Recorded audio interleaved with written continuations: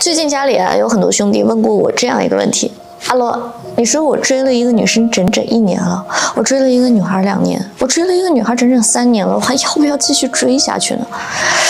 对于这个问题的诉求啊，我真的不知道该怎么去劝解，怎么去帮助了。首先，我今天想确认一下，就是说这个女生她还愿不愿意去跟你交流，不管是见面也好，电话也好，还是说信息也好。如果连这些基础的都没有的话，人家每一次跟你聊天呢，都是在敷衍你，避开与你所有的交流。第一，这不正常。爱情啊，它肯定是两厢情愿的。你喜欢他，他不喜欢你，这就不是爱情。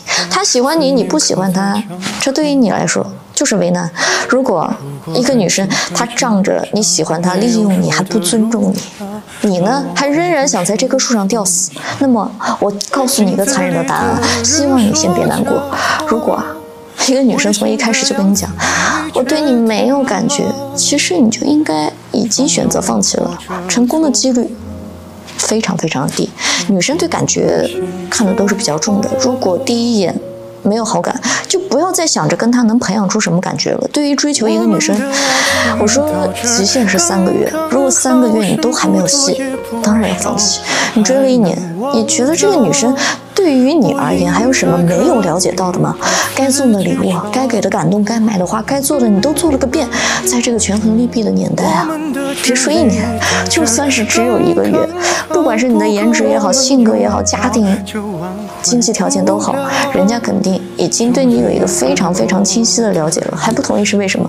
一是根本对你就不来电没感觉。二当然，就是就算是只看你的实力来说的话，你也是跟不上，也配不上啊！不要说我今天是来打击你的哈，一年了。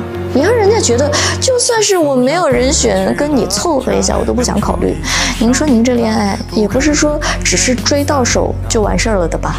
到最后你俩维持，其实是要比你追到手这件事情要难的更多。如果你开始都是靠你苦苦追求才得来的结果，你已经在追他的时候，把你自己所有的体力、所有的精力全部都消耗殆尽了，你觉得这段感情会容易维持吗？你还有力气和能力维持吗？天涯。何处无芳草啊，兄弟，请给自己留下最后一点点的尊严，体面退场吧。